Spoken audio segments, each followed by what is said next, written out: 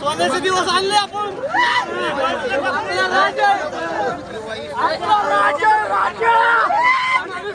ढसाढसा रडणारा हा जमाव पाहून तुम्हाला आश्चर्य वाटलं असेल पण यामध्ये रडणारी एक व्यक्ती विजयी सरपंचाची पती आहे.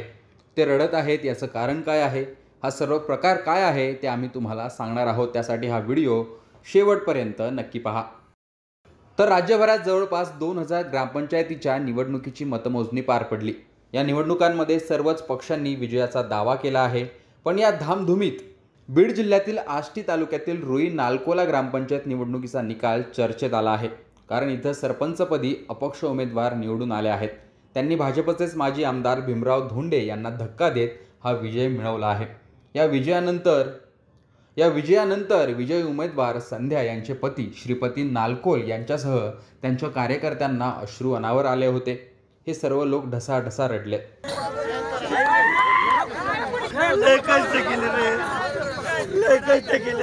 आज महेश परिवर्तन पॅनलचे सरपंच पदाचे उमेदवार माझी पत्नी सो संध्या श्रीपती नालकोल हे बहुमताने विजयी झालेले आहेत. व दोन सदस्य माझ्या पॅनलचे विजयी झालेले आहेत.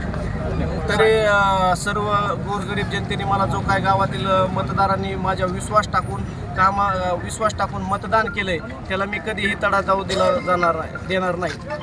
दुस आज निकाल लागला त्यानंतर माझ्या डोळ्यातून जे अश्रू आले ते अश्रू येण्याचं कारण असं म्हणजे प्रत्येक महिलांनी माझ्यासाठी गावात महादेवाला नवस केला कुणी आत्माराम बाबाला नवस केला की तात्यातून निवडून यावा म्हणून. डोळ्यात अश्रू येण्याचं कारण एकच की माझ्यासाठी रात्रंदिवस पळणारे जे माझे युवक मित्र आहेत महिला आहेत पुरुष आहेत या सर्वांसाठी माझ्या डोळ्यात अश्रू आलेले आहेत. दु- येत असताना मला त्यांची आता इथून पुढे जी माझी जिम्मेदारी कामाची मी ती व्यवस्थित पार पाडणार. पाच वर्ष. वा.